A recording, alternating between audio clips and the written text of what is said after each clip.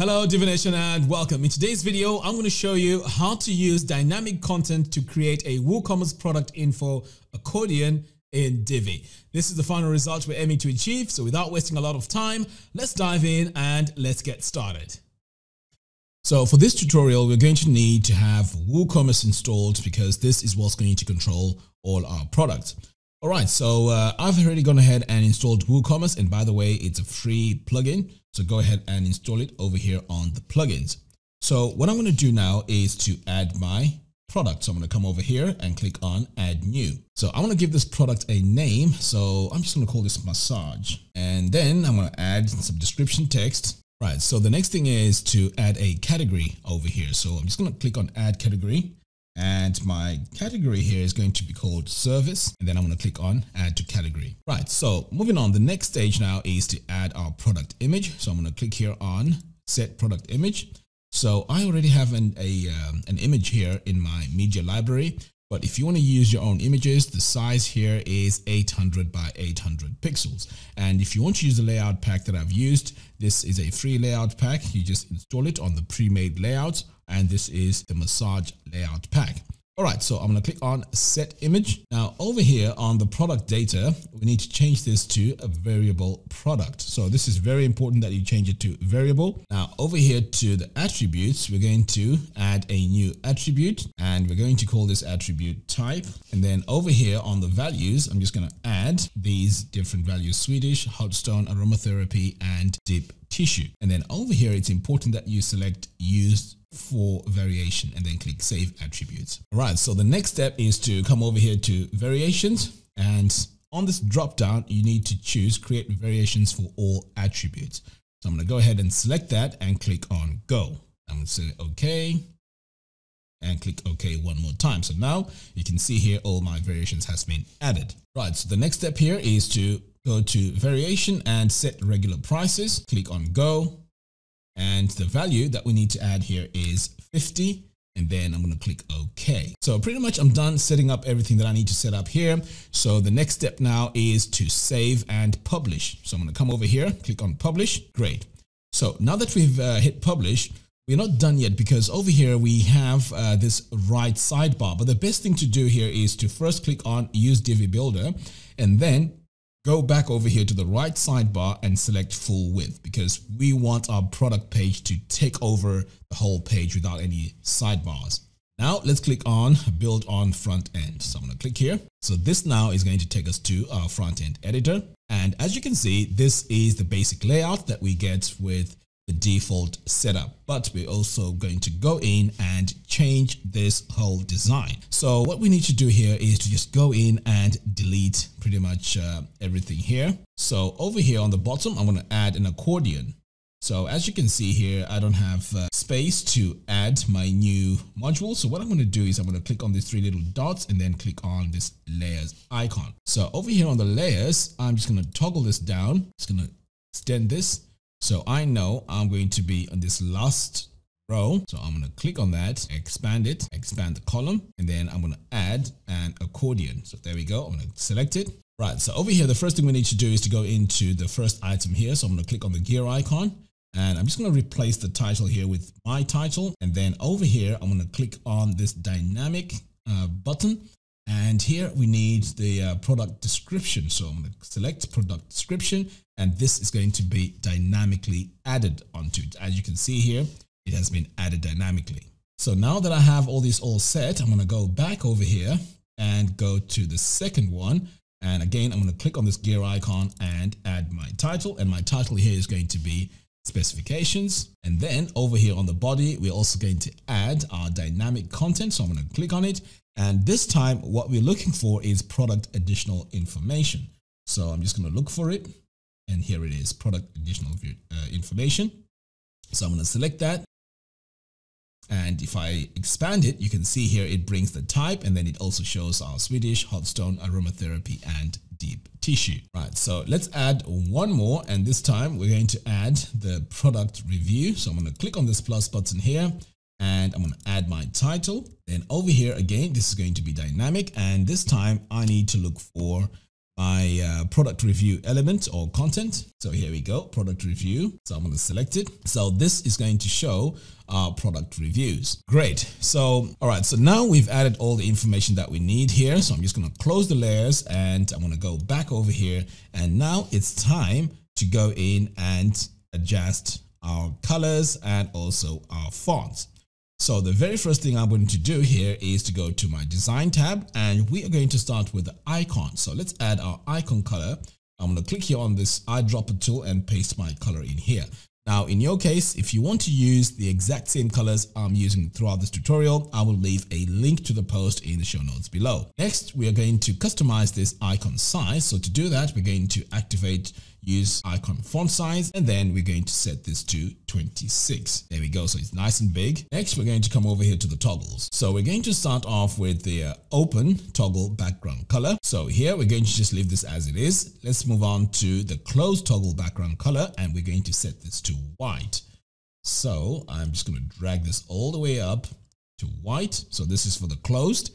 And then next I'm going to go to the open title text color. So I'm going to come over here, open title text color, click on the eyedropper tool and paste my color in here. And then next over here on the title color, I'm going to set this to this very dark gray. Now let's add all our fonts. So my font here, I'm going to change it from default to Lato. And this is a free font, by the way. So just search for it and select it. These are Google fonts. Okay, so now that I've added it, I need to also make this bold. There we go. And then on the text size, I'm going to set this to 20. The next step is to head over here to the letter spacing and set this to 0.2 EM. And then the line height needs to be 2 EM. So I'm going to set it over here to 2 EM. So if I do a quick preview here, we can see about the product is showing this uh, title color. In fact, you know what? We need to make this all caps as well. So I'm going to go ahead and add my all caps there. And now that's looking much, much better. Now let's work on the body font. So I'm going to come over here and just go to my body. So the first thing we need to do here is to change our font as well. So I'm going to choose Lato and it's going to be right here because I've just uh, used it a few moments ago. Next on the text size here, I'm going to set this to 16 and then on my line height, I'm going to set this to 1.8. Now, if you need to, you can also add your link text color. So I'm going to come over here on the second tab and um, I'm just going to come over here to this eyedropper tool and paste my color. Now, as I mentioned before, if you want to use the exact same colors as I'm using throughout this tutorial, I will leave a link in the post, the show notes below. Okay, so moving on, uh, let's further customize this. So let's go to the unordered list. And again, we can go in and add our colors. So I'm going to come over here and add my color like that. Now you can see our line height here doesn't look great. So I'm going to go in and increase my line height a little bit. And then over here on the item indent, I'm going to set this to 5%. Over here on unordered list style. So let's choose circle here, make it look slightly different. And you can see now we've just added a little bit of a design to these bullets. So that's looking much, much better. All right. So the next step here is to go in and customize our borders for our accordion. So I'm going to scroll all the way down here, choose border. And the very first thing I'm going to do here is to choose the top one here. So I'm going to choose top one and uh, I'm going to set this to one pixel. And I'm also going to add my border color. And this is going to be my really dark gray. So that's going to be on the top. And then next, I'm just going to make sure that on the other sides, I don't have anything on there. So I'm just removing the border here so that my border only shows on the top, just like that. Now, finally, we're just going to add a bit of CSS code here to remove a bit of space. So I'm going to come over here to custom CSS and then on the toggle here, I'm just going to add margin bottom equals zero pixels. So pretty much this is all we need to do. Now let's make some final adjustments here. So let's save this. And you can see here on the top that our colors here don't really match. So I can go in now and just uh, make sure our colors at least match. So I'm going to come over here to design, price text, change this to Lato so that it's uh, pretty much similar to what we have throughout our site. And then I'm going to add my color in here. And I'm also going to do the same to the button. So I'm going to come over here, click on settings. Then I'm to click on design button. Then I'm going to activate use custom styles for buttons so that I can add my colors in here. So again, I'm just going to add this color here so that it matches what we have here on the bottom. So again, uh, our font here needs to be changed. So let's go ahead and do that. So I'm just going to choose, look for my font area. And here it is. I'm going to choose Lato. Now over here on uh, the variable product, I can actually go in and also make some uh, further adjustments. So I can add a border around it.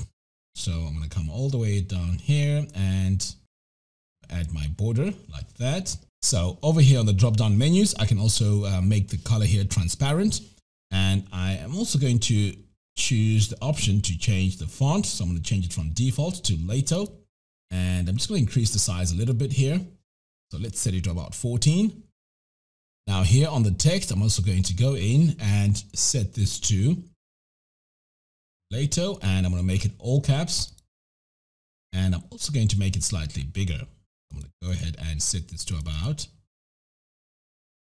20. And I'm just going to give this a bit of letter spacing. So I think two works fine. So pretty much now it's uh, very close to matching our style that we have here on the bottom. And then over here on the top, finally, I'm just going to work on my title here and just change my font. So I'm going to go in, click on this brush tool and go to my title text and change this to Lato. I'm also going to make it uh, very dark gray. I'm going to go ahead and select my color here and pretty much I'm happy with this. So I'm going to save this and then save this one more time. And let's do a quick preview of our design. So I'm going to exit the visual builder now. And this is our design. So over here, if we take a look, it has all the accordion. And when I click on this, it shows me all the information about the service that I have above here. Again, on the reviews, if we have any reviews, they're going to show over here on the bottom. So there you have it. Thank you all for watching. If you like this video, please give me a thumbs up and do follow us on our social media platforms. By doing so, you'll be notified every time we release new tutorials. Until next time, thanks for watching and I'll see you in the next video.